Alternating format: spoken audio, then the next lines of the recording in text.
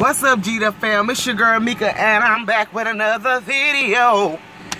Good morning, everybody. Rise and shine. It is a beautiful day in Houston, Texas. This morning is 8:18 a.m. I'm running a little late, but I'll be there on time. And the sun, I don't know if y'all can see the sun because it's really bright, but the sun is shining, y'all. It's out, it's shining. It's a beautiful morning. God is good and everything is great. Even got a little cool front this morning. Like I feel a little a little cool breeze, you feel me? But anyway, you guys, I was as y'all can see by the title, this is gonna be a Tameka top topics. Uh one of my top topics. I um um seen I what was about?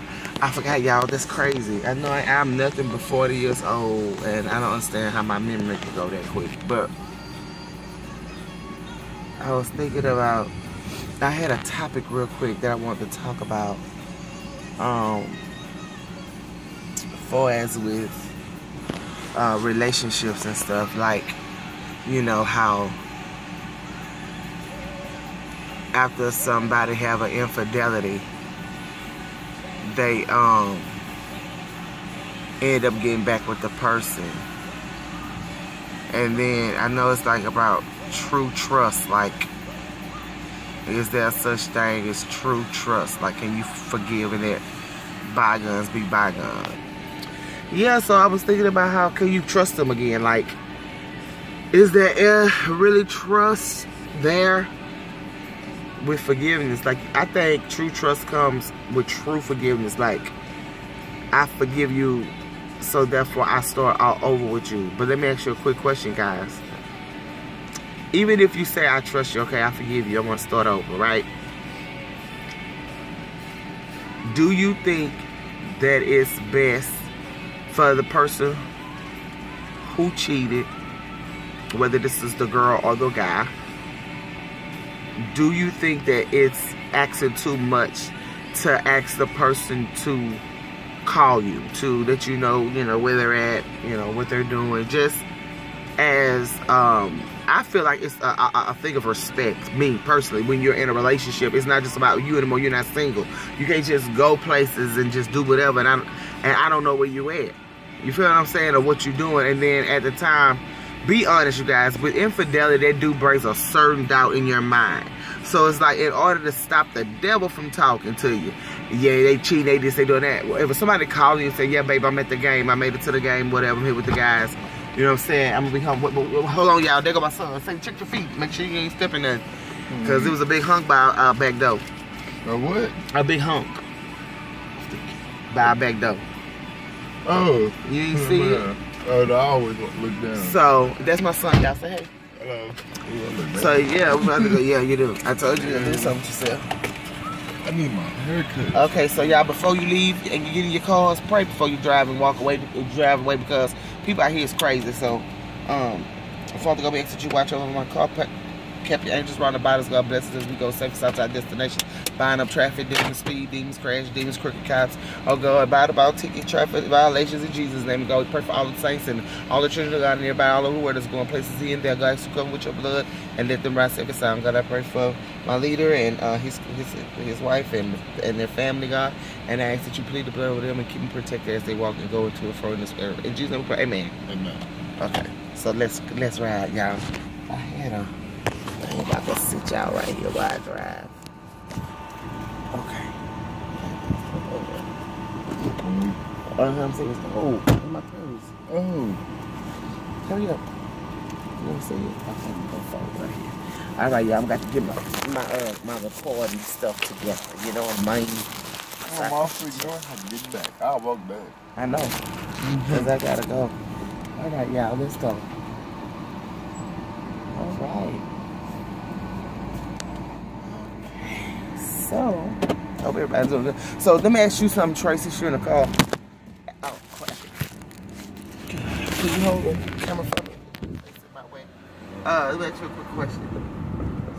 If somebody, let's see, if somebody cheat in a relationship, right? If somebody cheat in a relationship, do you think it's if they decide to forgive them and take them back, right? Whether it's the boy or the girl that cheated. Do you think it's actually too much for them to tell to, to say, hey, when you go places, could you call me? Let me know where you at, baby. You know, on both on both ends. Like not just, No, I'm saying if they take them back after somebody cheated, whether it's the guy that cheated or the girl that cheated, and they decided to stay together, do you think it's too much for them to the each for the individual to say, well, baby, when you get there, could you call me? Let me know you made it. Da da da. Nah. Okay, I feel like um, after infidelity, if you're trying to really just get that trust back, that you should want to call and let your girl or your guy know where you at and what you doing, so the devil won't be able to talk to them and say, "Oh, they cheating, they da da da," because the time is not being counted for. You know what I mean? So he went and went and got. He went and stopped in the store, y'all. But yeah, I I I, I don't think that it's actually too much. I think that if you ain't got nothing to hide and you trying to get that trust all the way back and you want it to be the way it was, that it shouldn't be an issue.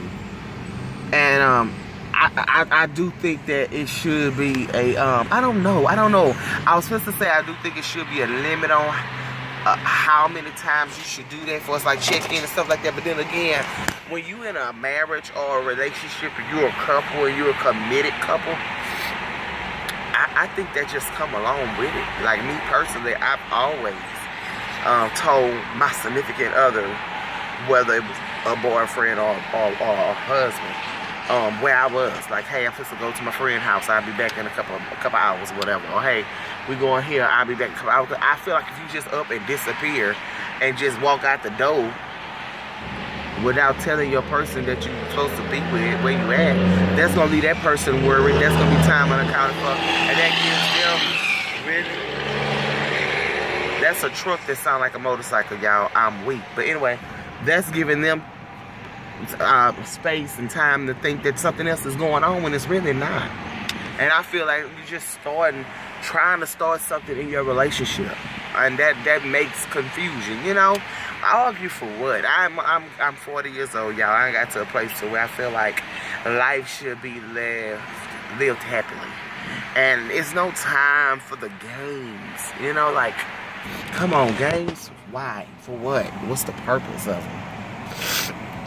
let's just enjoy life. Let's just enjoy each other and let's just be free and live, you know? Like in the Lord, of course, in the Lord. But um what y'all think about this topic? What y'all think? Do you think it's actually too much, especially when there's infidelity involved or do y'all think um I'm right or who agrees with me? So just drop it down in the comments. I love y'all so much. To all my godly warriors, I salute you. May you continue to walk in promise, promise to go ahead for your life. And to all my families and friends, continue to walk in purpose that God have for your life. In Jesus' name. I love y'all. Bye bye. See you later.